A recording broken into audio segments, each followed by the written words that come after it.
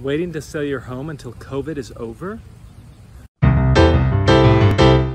We've come across lots of sellers that either decided to pull their house off of the market when we were told to shelter in place, or that were waiting till after quarantine to put their home onto the market. So what that means is there's a bunch of sellers and an influx of buyers that are going to be getting into the market really, really soon. If you want to beat all of them and you want to have your house stand out, contact us today so that way we can get your house sold quickly and for top dollar.